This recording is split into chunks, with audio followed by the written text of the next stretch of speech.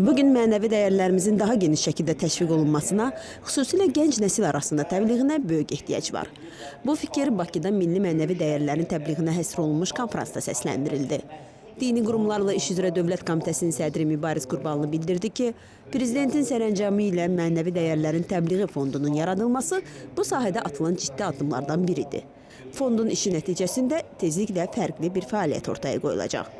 Mənəvi dəyərlər arasında isə dini dəyərlərin təbliği xüsusi yer tutur. Çünki İslamın təşviqində yanlışlığa yol verildikdə bundan bəzi qüvvələr, dairələr istifadə eləyir, İslamı təhrif eləyir.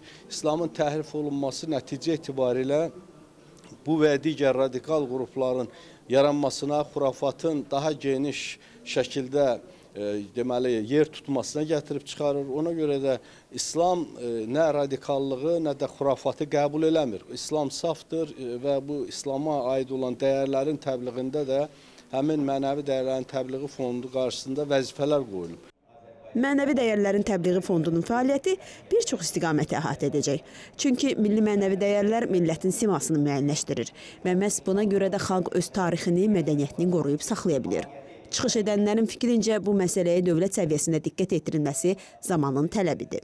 Çox vaxt görürsən ki, milli mənəvi dəyərlər adı altında, din adı altında tamamilə başqa təzahürlər ortaya çıxır. Radikalizm meylləri güclənməyə başlayır. Milli e, demək ədalətin e, müəyyən mənada körüklənməsi istiqamətində addımlar atılır.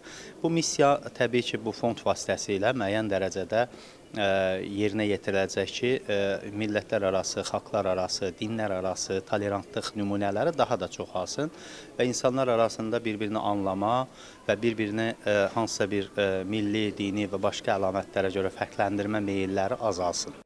Dini qurumlarla İş üzrə Dövlət Komitəsinin təşkil etdiyi tədbirdə dövlətin dinə qayğısı, milli mənəvi dəyərlərimizin qorunması, xalqın multikultural və tolerant ənənələrinin daha da gücləndirilməsi sahəsində görülən işlər haqqında məlumat verildi. Fərəz Sabir qızı Firuz Rəhimov, Sibisi.